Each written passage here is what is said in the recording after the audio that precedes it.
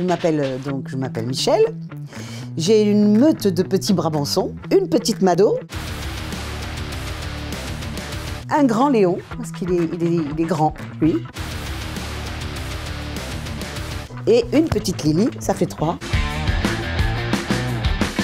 Ils m'embrassent tous toute la journée.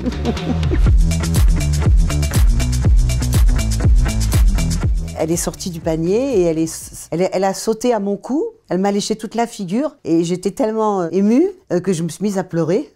J'étais totalement euh, bouleversée par cet amour qui est arrivé d'un coup comme ça. Je ne sais pas comment dire, elle nous attendait. Et j'avais l'impression qu'elle nous disait Vous avez mis du temps quand même à venir me chercher. Après, on a eu Léon. Donc, c'est que quand il a eu six mois, il a fait des petits à Lily, ce qui était très jeune. Et nous avons eu donc celle-là, cette petite Mado là. C'est des chiens qui ont l'autorisation de me rouler des pelles toute la journée, bien que ça heurte beaucoup de gens, mais c'est pas grave.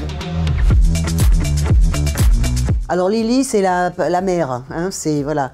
Elle, quand elle a eu ses petits chiens, elle a fait le minimum syndical, c'est-à-dire elle a allaité les, euh, la petite là, et puis, euh, c'est Léon qui l'a élevée en réalité. C'est Léon qui lui a tout appris. Euh, quand Lily était petite, toute petite, on l'a emmenée au cinéma dans la poche du manteau et elle ne bougeait pas. Et puis alors, elle, elle a peur de tout, vu sa petite taille et puis l'accident qu'elle a eu.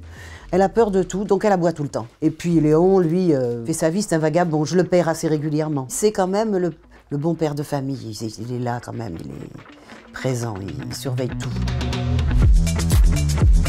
Moi, je n'avais jamais eu de chien. C'est les premiers chiens que j'ai. Et je voulais ces chiens-là. Parce que j'avais des amis qui en avaient un. Et je voulais ces chiens-là. Ils ont des, regards extraordinaires.